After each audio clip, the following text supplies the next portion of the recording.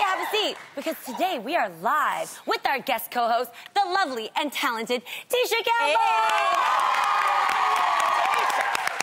Okay, I say we get right into girl chat. What do I'm, you say? I'm down. I'm down. I always love a good girl. Yeah, chat. Yeah. like, I know how this goes. Okay, so first off, Tisha, you just came off of hosting the Soul Train Awards with your girl Tisha Arnold, Tichina Arnold. Yeah. I want to know everything. Like, were you nervous? What was it like being with your friend? We weren't nervous Okay. because we have each other to play off of. You and it's like, we've known each other since we were 11 and 12 years old. Yeah. Oh, so, Oh, wow. like, we Dude, literally. that chemistry is undeniable. We, we finished each other's sentences, but we were also co-producing. Oh, so we had our hands in every single aspect from, you know, who's going to be on the show and all of that stuff. So we were, we were really, really working very, very hard behind the Yeah. scenes. Yeah, Yeah. you know, some people um, tried to criticize your wigs. I loved your wigs. Well, How you feel about I'm glad. I love. I, them know. I thought, and, and, and that's fine. I don't really listen to what they say, but Yeah. what I wanted to represent was beautiful, gorgeous, natural hair, just the bigger, the better, everywhere. So for me, that's what I was trying to represent for, you know, African You know, it's a women. good day to have, you know, now that we have black females that can also lead an award show. And you guys do it so well. So I'm proud of you guys. It's like what you guys do. And then I think what was really important, like last year, the first time we did, did it, our freshman year, we really wanted to include all generations. Right. Yeah. But um, this time it was like just be inclusive. So we really fought hard and got MJ Rodriguez Yeah. Wow. Love her. to be a part of it. that was a wonderful Yeah. moment, Yeah. you know. And Yeah. I, I always love like uh, Alexander O'Neal and, uh, And the- uh, yeah, we had like generations, like Yeah, it was a Alexander great show. and uh, Cherrelle, and then Jimmy Jam and Terry Lewis, Yes, and Yeah. so Yolanda good. Adams, Iconic. and oh, she was such a good Yolanda. sport. great. Well, you guys great. killed Love it. Yolanda. And I love seeing you guys together. Yeah. I remember Very Little Shop of Horrors when you guys were in that. Oh I yeah, love we were that like movie. 16 or something. Yeah, I Love you it. The guys outfits killed that did too. it for me, though. I could tell that you guys planned it. you We know? did everything like again every aspect was like really really planned out and mine was from Jacob over at um, For the Stars on Yes. Melrose um, Yep. and um, Cinta Ray was my stylist but they did such a great job. They did such a great job. Yeah. Good job. All right, you guys. Well, recently Kim Kardashian West sat down with Jenna Bush Hager on the Today Show. And in her interview, she talked about how being a mother has reaffirmed her activism and a need to create a better society. Mm-hmm. She also opened up about the challenges of raising black sons in today's society. Take a look. And I definitely see how, especially like black men are treated in this country still differently. And I'm raising two black men. And so I want to make sure that my world and their world is as safe and as fair as possible. I love that. So, Tisha, I wanted to ask you, as a mom, can you relate to what Kim is saying? Yeah, I could totally relate. I'm raising two black boys myself. Um, I'm glad that, uh, well, for me, it's a little different because this is something that we've always known. Like, Yeah. even when my mother, I have three brothers. And so growing up, there were certain concerns that they have automatically, but it's innate. It's something that is in our DNA that, you know, we take we have to take special care in raising black men and so she, this is something that she's never had to deal with before You know, talking about Kim? Kim. Yeah. So, and I, I applaud her for her consciousness. Yeah. You know, uh, but it's new for her. For us, it's like it's ingrained in our soul. Yeah. Right. And I, I'm just getting tired of it. Yeah. Yeah. um, you know, I think the thing is, is that I feel like as a country we're turning into this. We got to teach our black men how to how to act towards. Our black men already knew how to, Yeah. you know, and that's Yeah. not the issue. Absolutely. I want to keep the issue on law enforcement. Yeah. And the thing is, I don't care who you are, what gender, what uh, race you are. There's a certain procedure that police are supposed to treat everybody That's right. equally, Yes, of and we have to remain on Yes, that. that's right. Because even if you do do, I mean, uh, rest in peace, uh, Fidel, um, Philando Castile. He did everything, and he, Mm-hmm. still got supposed to do it, shot. yeah. So that was a part of police uh, procedure, racial bias, and we need to focus on that and not make it like the black men are the cause of this. No, And it's police. that's, that's very true. And you know what?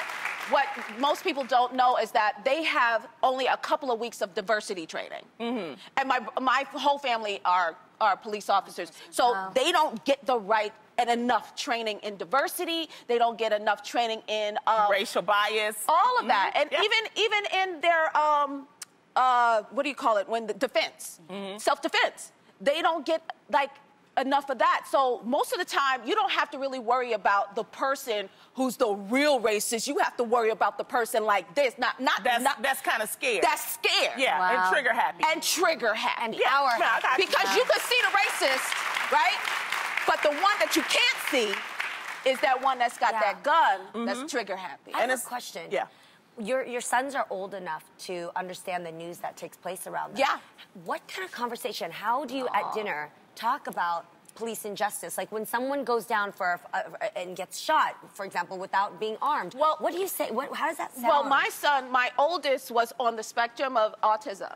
And so, leave, even him leaving the house to just go for a walk, we have to have talks because Yeah. it's a little different too for me. Because mm, with my son, he might go for a walk, and some of his movements may look like he's not being compliant because he looks like you know very typical but his answers he may put his hands behind his back fidgeting and you can't do that. So mm. with my, my my brother and I, I i think i talked about it before we we started this whole program called dope de-escalating officer patrol encounters mm. where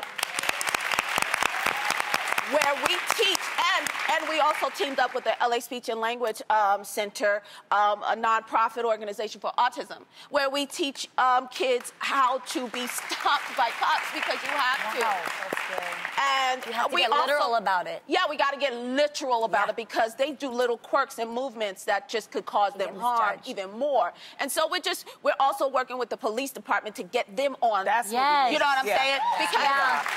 We we are teaching them. So we go to the police department Yeah. we speak to the You know, police I department. was just having this looks like. Conversation with my brother Tavior mm-hmm, last night, mm-hmm. and to hear him say, he's like, Tamera, when I see a cop car or a cop, I get, I legitimately get scared. Yeah. And I actually want to go the other way around. And I was like, Tavior, what do you think is going to cause some change? And literally, he said, true change is going to happen when people who misuse their authority in these go. type of situations are held accountable There for go. and they change. But the thing is, we do need allies. He said we do need allies. They're going to play an important role in that. So I got to give Kim Kardashian props for using her 152 million followers on Instagram. I mean, she has a huge platform. Yeah. Thank you for speaking up about Yeah. this. Well, you know, I think she got it from me because I always said, you know, you raising black men, girl, you need to know the law. So thank you, Kim. We asked you know. parents of black sons, what advice have you given on how to navigate today's world? At Feline34 said, have a mindset to create and build your own versus a, a- versus a dependent mindset. Respect yourself and others, and even when opposition comes your way, always hold your head high because you are fearfully, Yes. wonderfully made. Woo! Thought that was Yeah. great. Well, speaking of black men trying to do the right thing and stay out of trouble, uh, this weekend Colin Kaepernick had his NFL uh, workout, and uh, there were a lot of stories about this. Uh, they said that sources said that Jay Z was very disappointed in Colin and his behavior during the tryouts. Um, well, Jay Z's Roc Nation put out a tweet, and I just want to read it word for word. It says, A source at Roc Nation tells us Jay Z hasn't spoken to any sources. That's funny. Super I funny. That's thought a good that one. was hilarious. Um, So so, good. you know, Matt. for you, why are we so quick to believe sources? Yeah. And why are we so quick to empower blogs and online news media that people start themselves without any credibility? So weird. It's I like if reputable media can't even give the facts properly, what makes you believe that like a random blog on Instagram is telling the truth? Right. Like we watch And we these with major reputable news outlets and we're like, that's correct. And sometimes their facts are off. We're looking at it like that is not correct. Because people So want to many- talk. People are just naturally nosy. People want to talk. The thing is with this situation, with the, the Colin Kaepernick situation, is that and I've said this before, I think I said this last week, we don't know all the details. Mm-hmm. We don't know everything. And sometimes we don't know the details for our, uh, for our good. Um, Jay Z has never really, when he did speak, he spoke while he was in a news conference and people didn't like it. So now that he's not speaking, people don't like it. And sometimes you just got to let things work itself out for a reason. I have a crazy idea. what is it? Shouldn't it somewhat be illegal Yeah. to be a source without them saying who you are? I feel like if you feel bold enough to speak up about it, let your Yeah, name yeah, be known. yep. Say who you are. Who is source? That seems so cowardly. Well, you to me. can hit the. Uh, It's just you can- cowardly. You can, hit the person that is um, reporting the source. Like if you feel like defamation of character. Yeah. or things like that, then you can go to the actual, say No, I- the, the How media can we do outlet that though? How Yeah. can we do that? Because I feel like You put a listen, I cease and know, desist. I know, but I feel like I feel helpless. Honestly, you go on YouTube, you see so many stories about each and every one of us. They're so far from the truth. so but what really sucks is they've got like million to two million views, Views. and I feel like the more divisive, the more mm-hmm. like devious. It is Evil. right. The more views they get. Yeah. So how can these people who do this, how can they get some consequences? Like, because I. Yes. they need to be held responsible because they're they're ruining some people's lives out Yeah, there. yeah. And defamation And of character. and they don't remember we have we have families. We have kids, We lives. have lives. And we have situations that affect our future. I remember when I was going through my divorce, it was insane to Yeah. me that blogs were painting word by word scenarios that was actually adding fuel to the fire in which we were trying to put out. We Yeah. were trying to move amicably in a way that would uh, promote us to be happy. Yeah. But when you hear and read things, you think that that person is doing a little trick on you, and then you have lawyers that are feeding things in your ears That's like, "See, true. you got to do That's something. true. What are you going to do back?" And it's so evil and disgusting that literally I have actually completely um, turned away from blogs and any like I've unfollowed. I re-corrected all of my algorithms, Yeah. so I don't even see any type of gossip or news. And I learned that you have an algorithm in your mind. When you click on something and when you deposit it, you will start to actually. Your brain has this thing called RAS, and it actually plays over. So if you say to yourself like, "I'm not good enough," you will see reasons why you're not good enough constantly. Every day. If you click on gossip, you will constantly see that fade of BS all the time. So you have to control your algorithm and control your actions to clean your Yeah. mind of clutter. Well, I think That's there's, right. I well, I, okay, I do want to say, I do think that there are some good blogs, and I think that there are some bad blogs, Mm-hmm. and I'm going to tell you why. For in, I know I can only speak for I think um, people of color blogs. For a long time, we weren't allowed into mainstream white media.